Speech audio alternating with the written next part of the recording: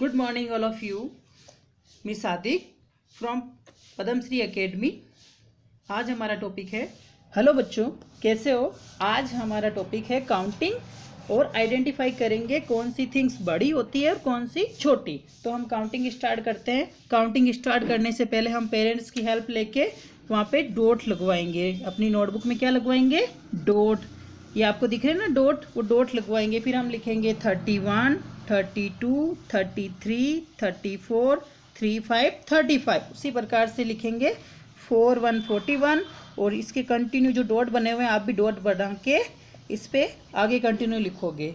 अब हम बात करते हैं कौन सी थिंग बड़ी होती है, कौन सी स्मॉल तो यहाँ पे देखो सबसे बड़ा क्या दिख रहा है, इन दो पेड़ में से आपको एक बड़ा सा पेड़ बना हुआ है ट्री ये क्या है? बिग और एक स्मॉल सा प्लांट है फ्लोवर्स है।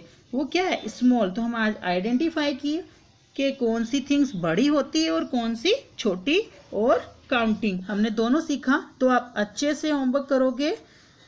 डेट रिवीजन वर्क डे जिसका भी वर्क सबसे अच्छा होगा, उसको मैं कुछ सरप्राइज़ दूँगा. And thank you keep it up bye